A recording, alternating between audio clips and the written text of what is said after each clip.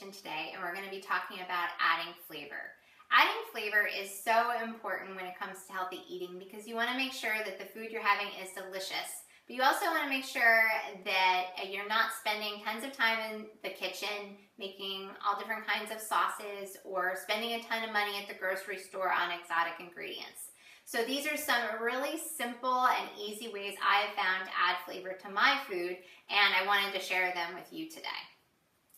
Mustard is one thing I always have on hand. It's my go-to. I have two here because I just couldn't decide. There's a lot of different flavors. Um, but they are just vinegar and spices and it's so good on so many things. So mustard is a great one to have on hand. Another one of my favorites is ketchup.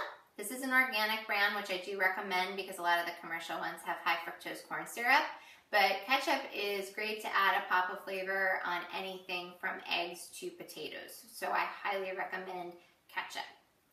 I also highly recommend vinegars. Uh, this is a balsamic, but there's so many different ones out there. And I happen to love vinegar for cooking vegetables and also to have on salads.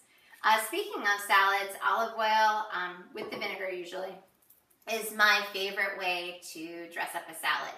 But olive oil is so versatile. You can add it to so many different foods and it also be that healthy fat you need in your diet. So olive oil is a great one to have on hand. Lemons and limes are super versatile. You can add them to different drinks. You can use them as just a little bit of a topping on your meal. And I happen to love the limes for Mexican style foods. It just adds like a little bit of taste. It's perfect. If you want more taste, salsa is a really great one. And again, there are tons out there. This is a fresh one, but um, it's so perfect for adding to anything that you feel might be a little bland because you know it ranges from mild to hot. Um, so salsa is just a great one and you can just pick to your personal preference. Coconut aminos is a soy-free soy sauce. so it, it, tastes exactly the same and it's great as a marinade. I love it for stir fries or if I'm making chicken or salmon. It's really perfect and I recommend definitely having that one on hand for your cooking.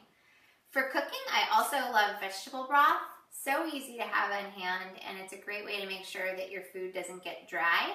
I like to use it as a base for soup or a chili. Um, and you can also swap it out for water if you're making rice. It'll give it a little more of an earthy flavor. So vegetable or chicken broth, another great one.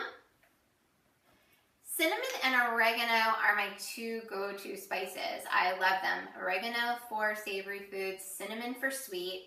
And they're really simple and easy ways to add like a little dash of flavor. And the dried spices tend to last a little while, which is why they're, they're great to keep on hand. So these are perfect for adding just a little bit of flavor to whatever it is you might be having.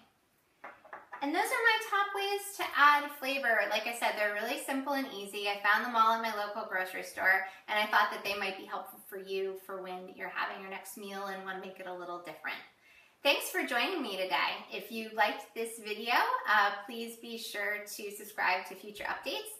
And if you have any questions, please be sure to leave them in the comments section below and I will get back to you. See you soon.